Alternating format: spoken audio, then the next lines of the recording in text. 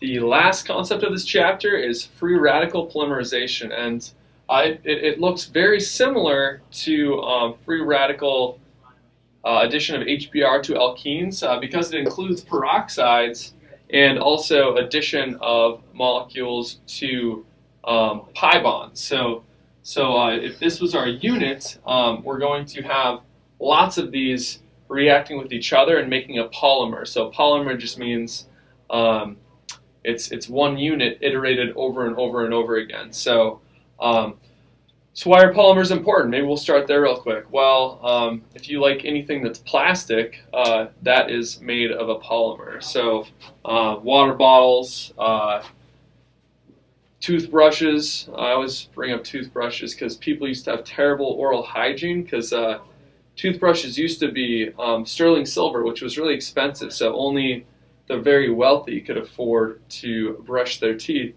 Um, but because of uh, um, because of the uh, industry that makes polymers, um, now we can all have great oral hygiene, which is nice uh, because we have plastic toothbrushes. Um, so, so how do polymers, uh, how, how does a polymer polymerization occur? Um, and, uh, and, and that's what we're, we're going to talk about now. So I should stop rambling about toothbrushes and get to it. Um, so, so here we have uh, a monomer. So this is a monomer. It's one. Mono means one. Poly means many. So one of these is going to come together with many of these to make a polymer. Um, and, and this is this is called styrene. Polystyrene is a, a very uh, um, you, uh, a very common polymer, uh, ubiquitous through every type of um, plastic that, that is out there, and, and, it's all made of these monomers. Um, so this reaction is going to be a free radical, free radical polymerization.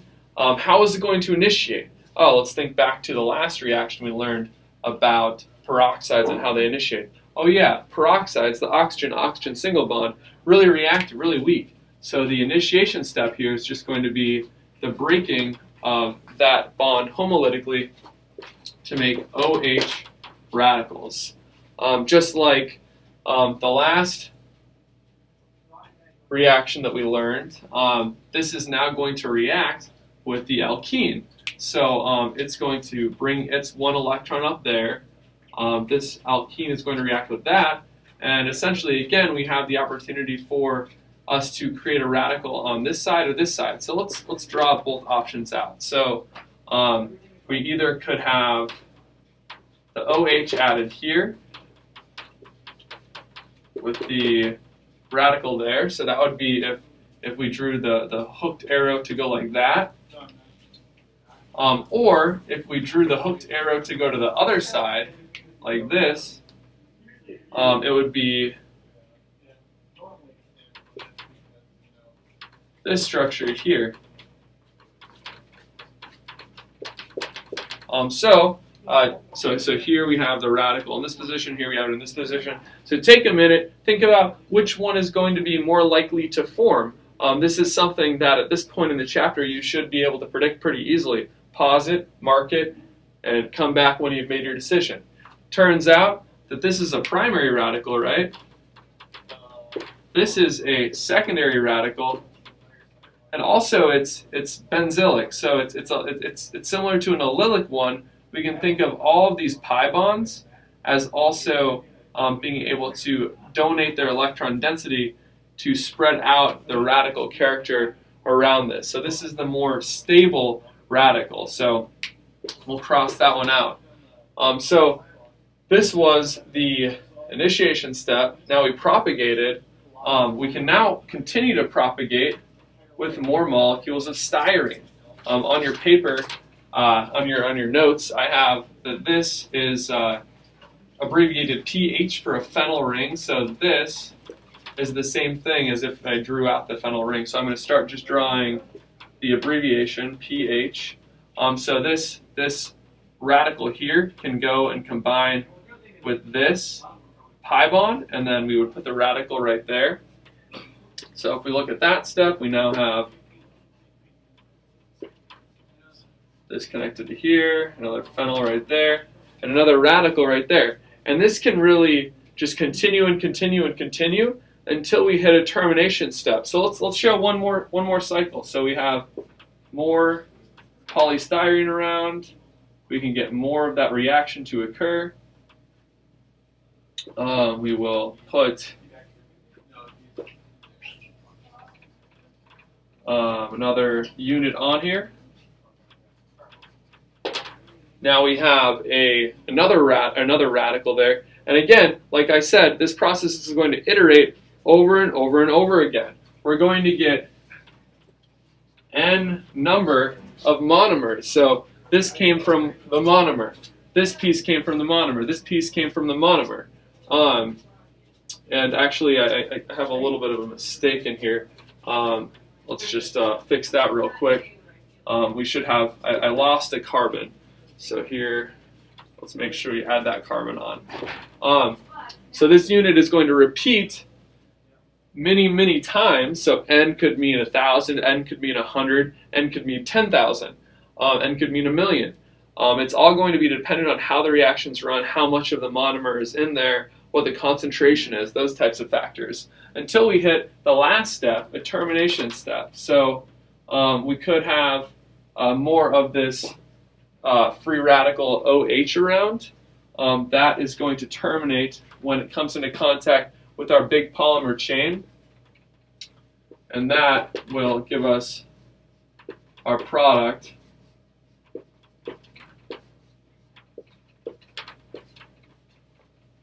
Here, and again, I'm going to put brackets around this unit and say N. There are an unlimited number of that unit right there. Um, so this would be a polystyrene polymer. This is a polystyrene polymer. Um, there are lots of different types of monomers. I'm just going to draw another one up here that, that, many of you have heard of before.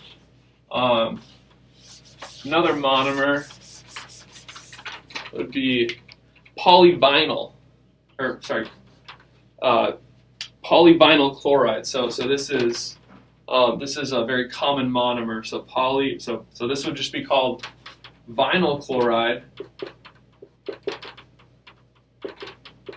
And um, if, if this polymerized, polymerized, we would have polyvinyl chloride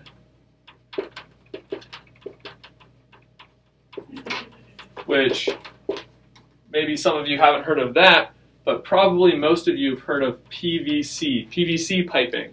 Um, that is a polymer of this monomer here. So, um, so that is uh, is um, another another polymer. Um, so the last, so that that's the free radical polymerization. Um, that's most of page 13.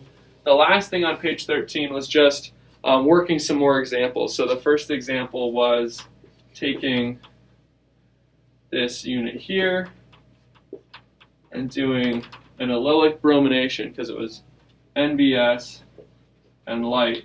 Um, so uh, again, we learned this uh, before we learned the, the stuff in this video. It's going to form the allylic um, radical, which the allylic radical is going to be present there and there. So this is going to make a mixture of products. And, and take a minute to pause the video and try and predict the products. Um, but the products are going to be this bromide here, which again, this, this, this bromide could be on the front or the back. So technically this represents two structures. And then also, once we form the radical in, in this position here, uh, we have to note that um, it also is going to have radical character on this carbon up here. So we could also generate this bromide here. Um, so th those are the answers. Um, if, if, if, you want to just uh, skip ahead to the next answer, you can go, go forward a minute. I just wanted to note that that's because, again, we form this radical species here, which shows that we have radical character there, and we can draw those resonance arrows to show that we also have radical character there. So the bromide is going to add to each position where we have radical character. Um, okay, so what were the other two? The next one is HBr and peroxides being added to this structure here. Um, if you want to, you could go back a video and look at how that works. Um, but the peroxides version of the HBr addition, so I'm to write peroxides here. Um, the, the, the main difference compared to our normal HBr addition is the normal HBr addition adds the bromine to the more substituted position. Here, we would be adding the bromine to the less substituted position. So um, that would be the product of that one there. And I'll just do the last one right here. Um, the last question was taking the same molecule here and treating that with um, NBS and light again. Um, so again here, we can form uh, multiple products. This is going to again be an allylic bromination. Um, so we're going to brominate at the allylic positions. Um, so this is an allylic position, this is an allylic position, this is an allylic position. This is going to make quite a few products. Um, hold on a second, I think there's someone at my door. I'll, I'll finish in a second. All right, so again, that said two products that are forming the fastest.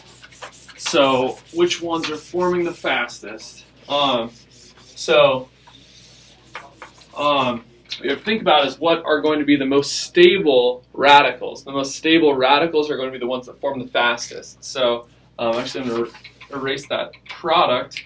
Um, so if we were to remove this allylic hydrogen, um, we would form this radical species here, which is, um, if, if we form this radical, it's going to have character as a secondary radical, but also as a tertiary radical, and you can again draw those resonance structures. Um, so this we'll call uh, HB, HB, and this would be HA. If we remove HA, um, we're going to form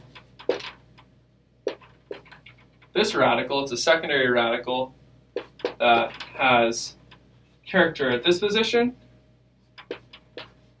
and also at this position. So essentially we have a secondary secondary radical. Since this is a secondary tertiary radical, this one is actually going to form even faster than the one above. Um, what would be the slowest forming radical here? It would be if we remove this one. So since the, since the question says two products forming fastest and ignore stereochem, um, we can say that uh, removing A and B is going to be better than removing HC because that would be a primary secondary radical, the least stable of all of them. Um, so whether or not uh, you have the resonance structure on either side, these are going to lead to this bromide here. Um, and these are going to lead to a mixture of two different bromides. So, um, so I probably shouldn't have had the word two products forming fastest here. I'll have to update that in future years. I could say the three products forming the fastest. Um, so if the radical adds, or if the bromide adds to that position, you'd have the bromine there. And if the radical adds the bromine in this position, we would have the bromine on that position. So uh, these would be the three products that form the fastest um, in this allylic bromination reaction. So these are a good, those, those last three questions are a good set of um, predicting the products with these different types of reactions. So, um, so let me know again if there are any questions, and I'll talk to you later.